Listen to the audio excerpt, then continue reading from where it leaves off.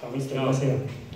Due anni fa, quando Mertens prese un palo con il Milan, il Napoli qui pareggiò 1-1 dopo aver perso a Torino con la Juve, si interruppe un po' una magia, la squadra andò psicologicamente un po' in difficoltà, Higuain venne espulso a Udine, perse un po' la testa tutta la squadra.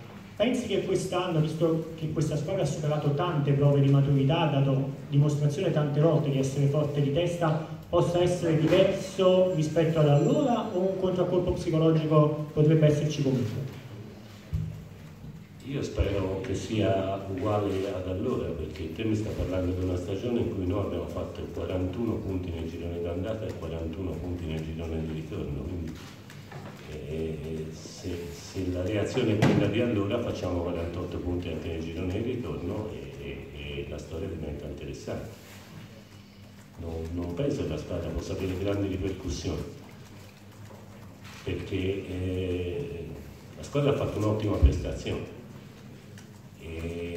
ha fatto 27 tiri in porta contro una grande squadra, 15 tiri nello specchio, ha creato 11 occasioni da gol contro 5, quindi i numeri solitamente si trasformano in un 3 a 1 a fine partita.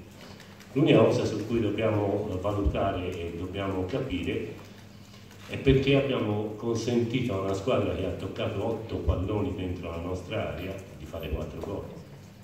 Quello solo dobbiamo dire, per il resto abbiamo fatto la nostra prestazione eh, solita di sempre, piena di gioco, piena di palle gol, piena di tiro in porta, piena di situazioni. E quindi non, non penso che sia una prestazione dalla quale possiamo uscire a battuta, è una prestazione dalla quale dobbiamo uscire consapevoli che eh, si è creato un problema che va al di là della partita maledetta, perché in campo c'era la sensazione della partita maledetta, tre palle gol, questi entrano nella metà campo una volta e ci rifanno gol. Però noi bisogna capire l'aspetto razionale di questa partita, perché è successo questo. La Repubblica. Ciao. Ciao. No, volevo chiederti, mi ha innervosito più il gol di Pala o il pareggio dopo un minuto di Ondero o nessuno di due?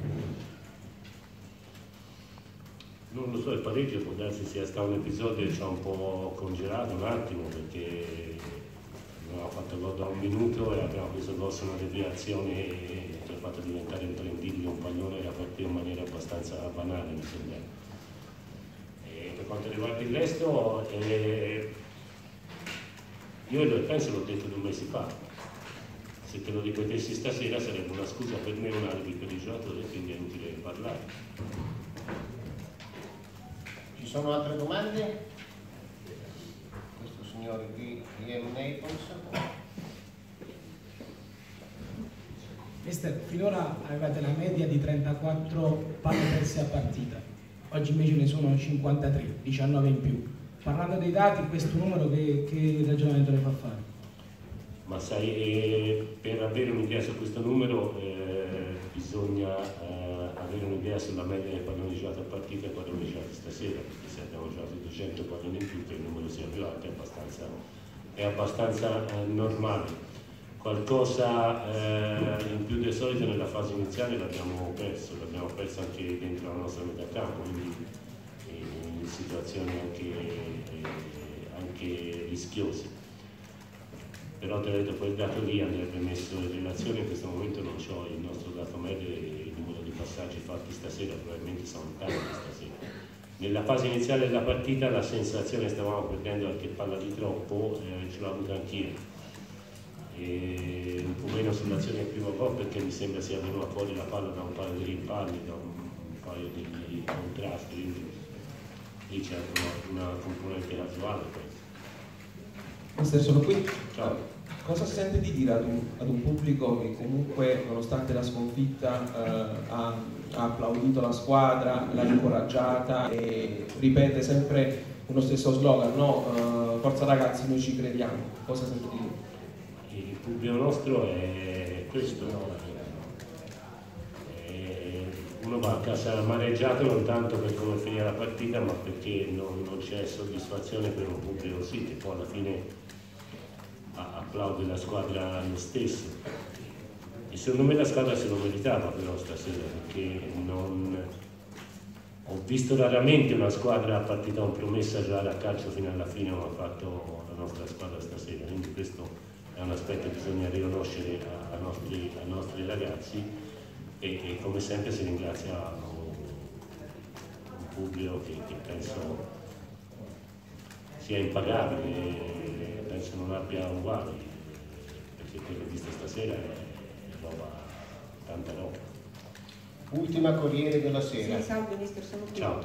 Eh, al di là della, della, prestazione e della consapevolezza della buona prestazione che ha, eh, che ha la sua squadra, ecco, lei rientrando nello spogliatoio a livello emotivo ha percepito che questa sconfitta potesse essere, cioè è stata una botta pesante, media, eh, facilmente metabolizzabile? Ma non, non, non, ho avuto il tempo di percepire perché ho chiuso la porta e gli ho detto che pensavo subito.